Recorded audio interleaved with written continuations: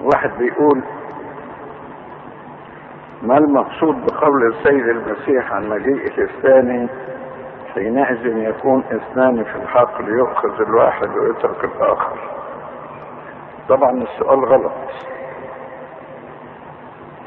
لأن المسيح ما قالش العبارة دي عن مجيئه الثاني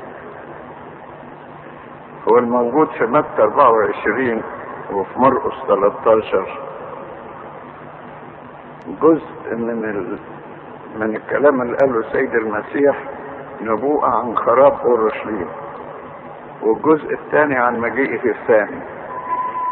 فحكاية يكون اثنان في الحقل يؤخذ الواحد ويترك الآخر دي عن خراب اورشليم ولازم يكون اثنتان تطحنان على الراحة واحدة تموت واحدة تقعد. كل دي عن خراب اورشليم يعني لما القائد الروماني تيتوس هجم على البلد ففي ناس استطاعوا يهربوا وناس ماتوا فبيقول لك يؤخذ الواحد ويترك الآخر.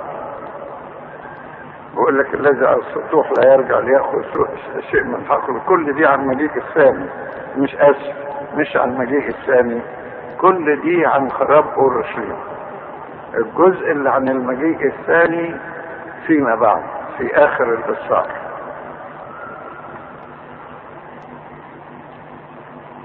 اللي ينتهي بعبارة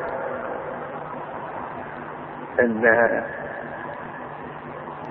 الشمس تظلم والقمر لا يعطي ضوءه ونجوم السماء تتساقط وحينئذ يبصرون علامة ابن الإنسان في السماء دي ويرسل ملائكته إلى آخره دي عن مجيء الثاني فنص الإصحاح عن خراب أورشليم ونص الإصحاح عن إيه؟